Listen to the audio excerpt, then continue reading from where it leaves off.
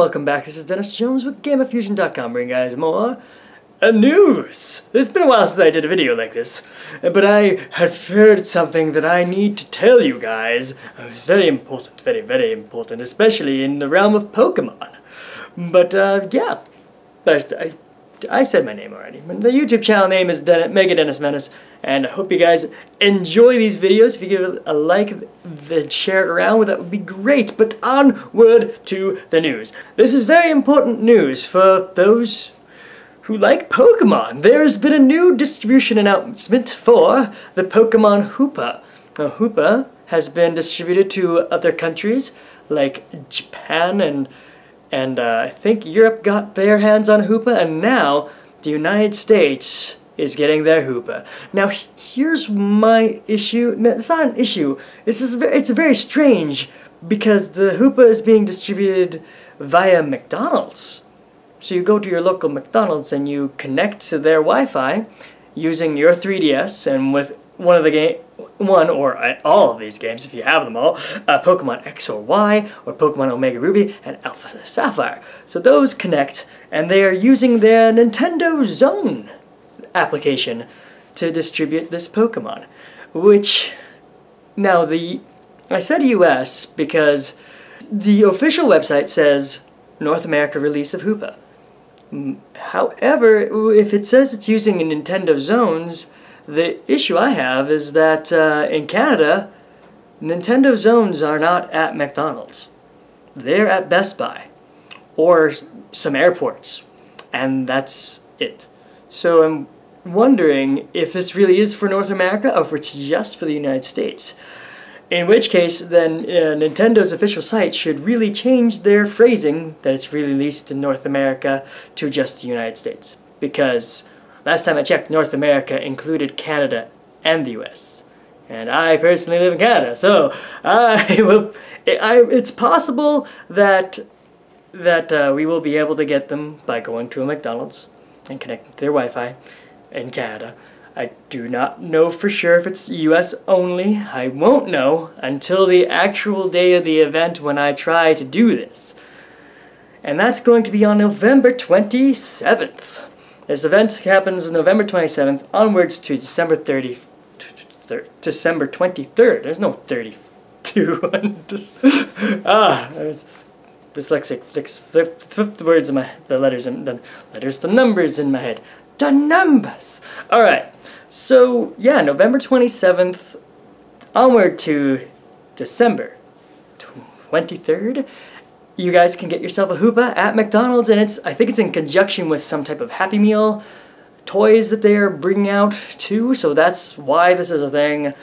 Um, I really hope it's for both Canada and US, but if it's not, and I, I, I'll probably be a little bit upset if I go to McDonald's and I'm not able to get a Hoopa. But I also will not be surprised at the same time because because I did a little bit of research about the Nintendo Zones and found out that uh, we don't have them here in Canada unless they're going to set them up for this event and this event only.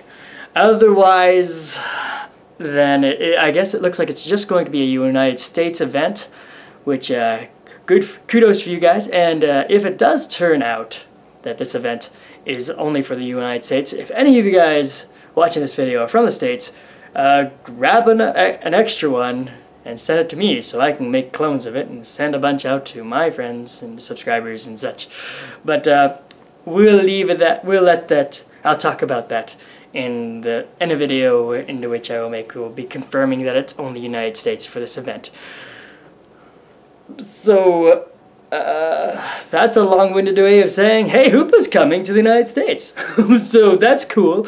Uh, next thing, um, now, the Legend of Zelda producer Eiji Aonuma, I hope I'm saying that name right, I do not know Japanese that well. He has once again reassured Wii U owners that the next Legend of Zelda game is going to be, in fact, coming out for the Nintendo Wii U.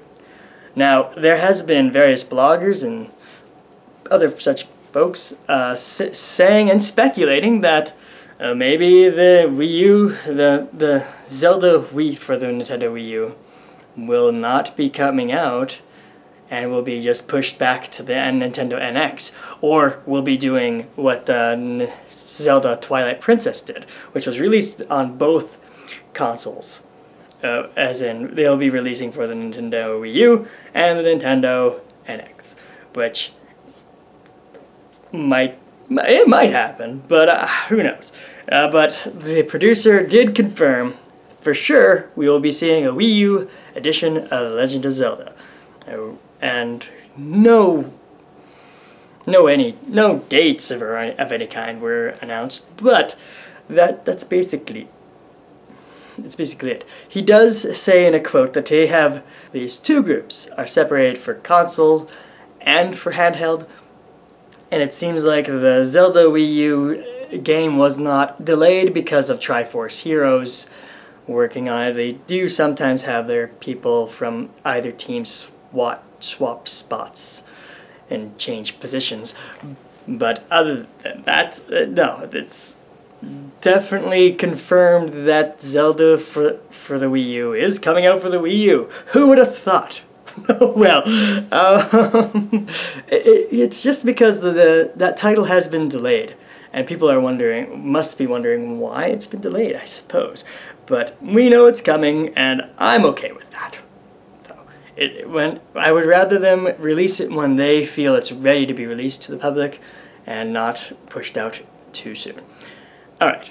Next little story. In Japan, Pokken tournaments uh, it, it, it's an arcade game that where you fight Pokemon, basically, like a Tekken kind of. If you've ever played the fighting game Tekken, they have made a, it's a, it's Pokemon fighting each other in that same style of, as Tekken, and that's what hence the name Pokken Fighters.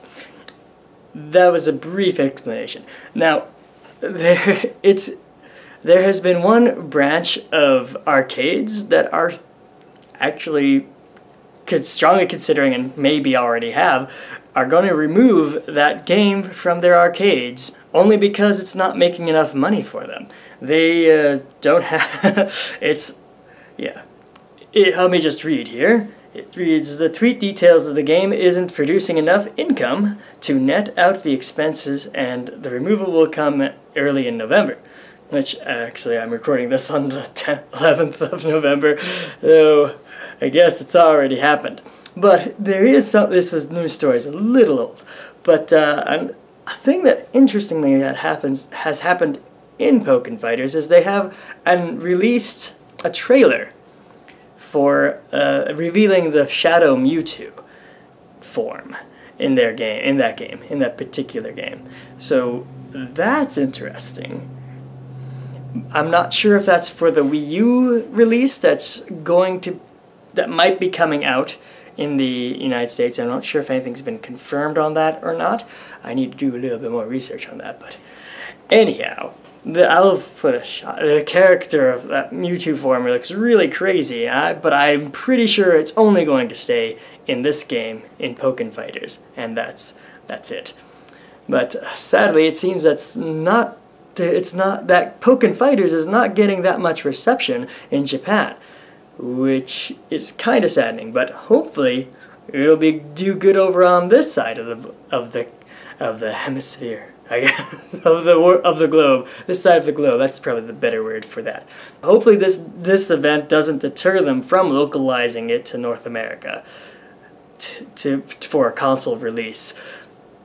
In general. Okay, so Here's the next story. the Super Mario Maker game for the Wii console launched on this in the US on September 11th, almost two months ago, uh, and sold nearly 445,000 cop combined units, rather, in its first three weeks. Wow. so bringing the lifetime total to more than 500,000 units combined in the US alone. Uh, perhaps the biggest impact, though, is the hardware sales. The biggest impact, though, being on hardware sales for the full month, sales on the Wii U hardware in the United States increased by nearly 110% over sales in August. So, because of a new release of a game, which, of course, everyone knows, hardware is sold by the software that's created for it. Uh, honestly. And there will be more new game releases coming out later on in, in this month with uh, Animal Crossing Amiibo Festival uh, coming out. Actually, looks like it's coming out today uh, when I'm recording this. I think I'll be posting this video tomorrow. So, uh, so that that will be out. Mario Tennis Ultra Smash for the Wii U coming out November 20th. Pokemon Super Mystery Dungeon for the Nintendo 3DS is coming out November 20th. And Xenoblade Chronicles X, that's the one I'm excited for because I love JRPGs. It's coming up December 4th. I think, I, I hope this one sells a lot of copies too, and a lot of units. Um, and Devil's Third, which is coming out December 11th for the Wii U. Um, so those, those are the games. Uh, those are the things. so guys, that's those have been a couple of the news stories that I've that have caught my attention these this last little while. I think it's been almost a month since the last time I've uploaded a news type video. And after seeing the Hoopa story, I knew I needed to get something out. Because uh, I just really hope that it is for both US and Canada. But it seems like it's coming out for just the US to me. But give it a shot, try it out. If you live in Canada, go see if your lo McDonald's location is sending out a Hoopa. And let me know. And I will do the same. I will find out myself. And anyway, guys, thanks so much for watching. I hope you enjoyed the video, and we'll see you in when I make another one of these. Bye for now.